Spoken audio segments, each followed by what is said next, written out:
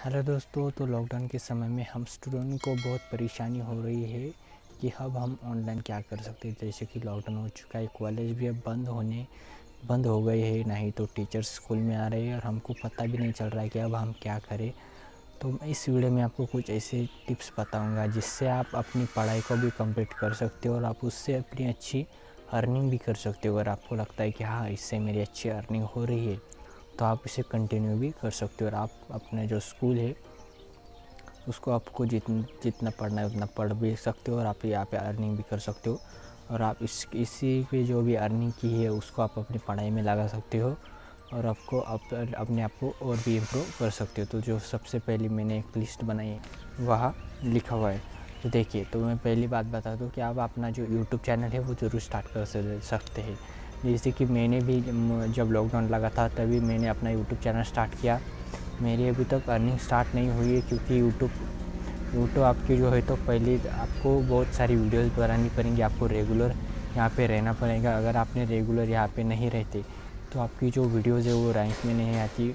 और आपको ज़्यादा यहाँ से डिमोटिवेट भी नहीं होना। मैंने बहुत सारी मोटिवेशनल वीडियो भी बनाई है आप मेरे यूट्यूब चैनल पर जाके।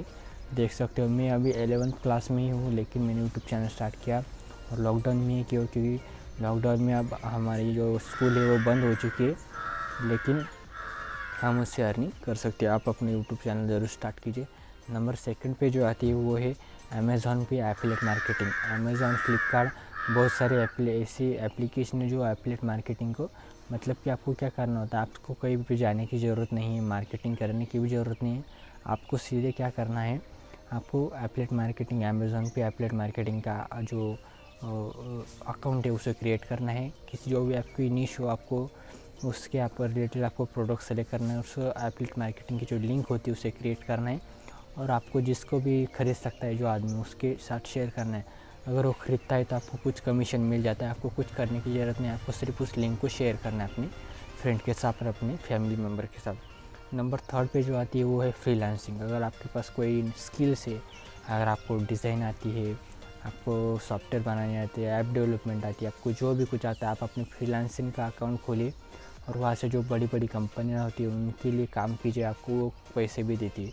और आप इससे नाइन लाख से नाइन लाख पर एनम भी कमा सकते हो, इससे बहुत अर्निंग होती है। और ये ज़्यादा फ़ेमस भी है इंडिया में और ऑल ओवर वर्ल्ड में तो आप भी फ्रीलांसिंग स्टार्ट कर सकते हो।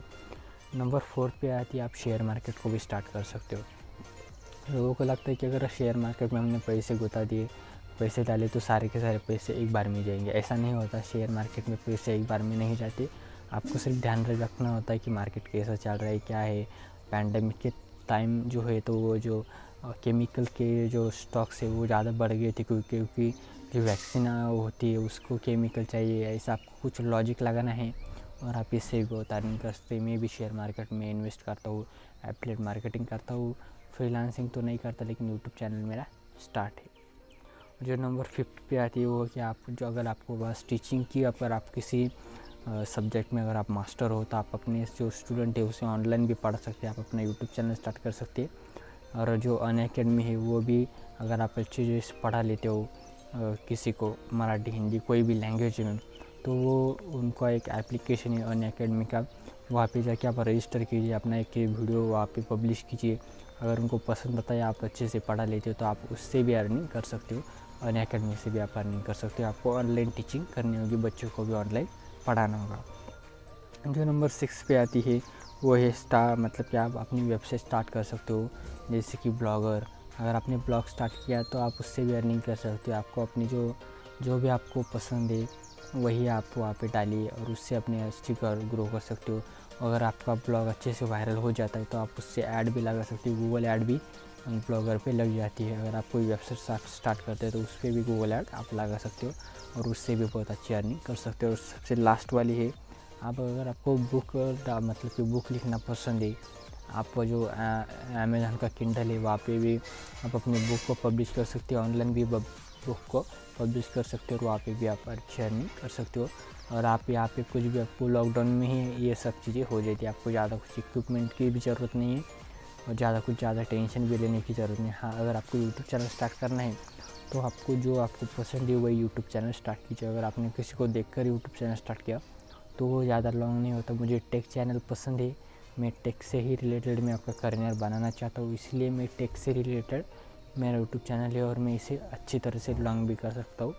मेरे अब यूट्यूब चैनल पे कम से कम हंड्रेड वीडियोस अपलोड है अगर आपने किसी को देखकर वीडियो यूट्यूब चैनल स्टार्ट किया तो आपको बहुत प्रॉब्लम हो जाएँगी और आप उससे कंटिन्यू भी ज़्यादा लॉन्ग नहीं कर सकते। इसलिए उसका फ़ायदा होता है।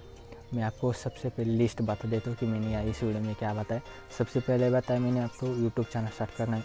उसके बाद बताया कि आपको अमेज़न की एप्लिक मार्केटिंग स्टार्ट करनी है, आपको फ्रीलांसर करना है शेयर मार्केट भी करना है, आप ऑनलाइन भी टीचिंग कर सकते हो, अपनी अपने आप अपना जो ब्लॉगर है ब्लॉग भी स्टार्ट कर सकते हो, अपनी वेबसाइट भी स्टार्ट कर सकते हो और लास्ट में आपको कोई आप अपनी बुक भी लिख सकते हो। अगर वीडियो पसंद आता है तो प्लीज़ लाइक शेयर सब्सक्राइब कीजिए।